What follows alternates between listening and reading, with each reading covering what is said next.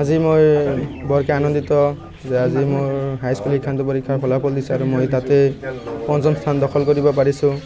তাৰ কাৰণে মই মোৰ আজি বহুত আনন্দ লাগিছে। আৰু মই মোৰ এই আনন্দত মই মোৰ গাঁওবাসীক ধন্যবাদ জনাইছোঁ যে সিহঁতে মোক আগবঢ়াই লৈ গৈছে উৎসাহ দিছে। মোৰ মোৰ বিদ্যালয়ৰ ছাৰ বাইদেউসকলক মই ধন্যবাদ জনাইছোঁ। আৰু লগতে মই মোৰ পিতৃ মাতৃক ধন্যবাদ জনাইছোঁ। কিমান ঘণ্টাকৈ পঢ়িছিলা মই আঠৰ পৰা দহ ঘণ্টামান পঢ়িছোঁ। আজৰি সময়ত তুমি কি কৰিবা? আজৰি সময়ত মই বাহিৰা কিতাপ অলপ পঢ়িছোঁ আৰু বাকী অলপ টাইম পালে তাতে খেলা খেল ধেমালি অলপ খেলিছোঁ। মই ভৱিষ্যতে মই এম বি বি এছ হোৱাৰ আশা আছে আৰু এম বি বি এছ হৈ মই মোৰ গাঁওবাসীক সেৱা কৰি যাম। ইয়াৰ পিছত ক'ত এডমিশ্যন ল'বা তুমি? ইয়াৰ পিছত মই আজমন চুপাৰবডীত এনে ছিট পাইছোঁ তাতে লোৱাৰ আশা আছে। কেনেধৰণে সহায় কৰিছিল তোমাৰ মা দেউতাই কেনেধৰণে সহায় কৰিছিল? মা দেউতাই মোক বহুত প্ৰকাৰ সহায় কৰিছে। মোৰ ৰাতি মোৰ মোৰ মাকে উজাগৰি থাকিছে। দেউতাই সহায় কৰিছে। টিউশ্যন আছিল তোমাৰ? টিউশ্যন কিহত আছিল। টিউশ্যন মোৰ এডভান্সৰ আছিল মেথছৰ ছায়েন্সৰ আৰু ইংলিছৰ আছিল চাৰিটা। স্কুলৰ ছাৰহঁতক কথা ক'বলৈ গ'লে ছাৰ বাইদেউসকলে মোক বহুত প্ৰকাৰে সহায় কৰিছে।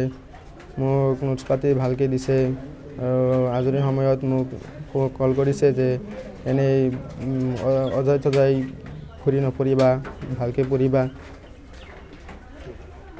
স্থান অধিকাৰ কৰিছে তাৰ কাৰণে আল্লাহৰ ওচৰত লাখ লাখ শুক্ৰিয়া। আৰু যিখিনি কষ্ট কৰিছোঁ মই মাতৃ হিচাপে মই সেইখিনি ফল আজি পাইছোঁ।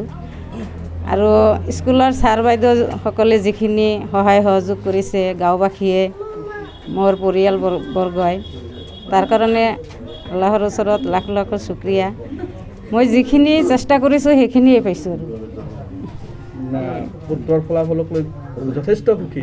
সুখী মই কেনেকুৱা অনুভৱ? পুত্ৰই পঞ্চম স্থান দখল কৰিছে। মোৰ আজি খুব ভাল লাগিছে যে পঞ্চম স্থান দখল কৰিবলৈ সক্ষম হৈছে। এই ক্ষেত্ৰত মই মোৰ ৰেইনব' মডেল একাডেমীৰ শিক্ষক শিক্ষয়িত্ৰীসকলক মই ধন্যবাদ জনাম।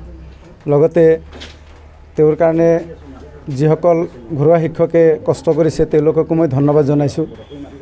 যে তেওঁলোকৰ চেষ্টাৰ ফলত আজি পঞ্চম স্থান দখল কৰিবলৈ সক্ষম হৈছে। মই এই এই চেগতে মই মোৰ অঞ্চলৰ লগতে বৰপেটাবাসী প্ৰত্যেককে মই ধন্যবাদ জনাইছোঁ।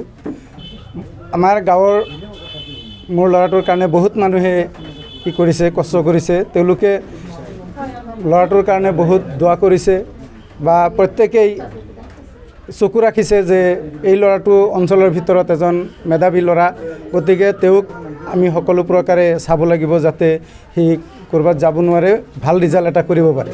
ঘৰৰ পৰা ওলালেই মই যদি ঘৰৰ বাহিৰতে আছোঁ তথাপি মোক ফোন কৰিছে যে আপোনাৰ ল'ৰাটো ঘৰৰ পৰা ওলাইছে। মই লগে লগে ঘৰত ফোন কৰিছোঁ যে মোৰ ল'ৰাটো ক'ত গ'ল? বোলে নাই এই ৰাস্তাত আছে। বোলে তেনেহ'লে ঘৰত মাতি দিয়া তেওঁ পঢ়িবলৈ দিয়া। এনেকৈ গাঁৱৰ গাঁওবাসীয়েও যথেষ্টখিনি সহায় কৰিছে তেওঁৰ এই ৰিজাল্টৰ ক্ষেত্ৰত।